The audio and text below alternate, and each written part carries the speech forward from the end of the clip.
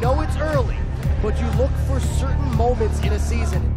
We're just getting ready to get going here. We are ready and raring to go. Able to put it away. There's an old saying, ball don't lie. Just like that, tic-tac-toe. Into the block, right there, shutting things down. No one wants to relent. A game-winning kill. And defense is always a key in any matchup. Here come the Bulls. They're rocking. Has simply been able to execute at such a high level. Really has become the main weapon for this group. We are just about ready to get this match going.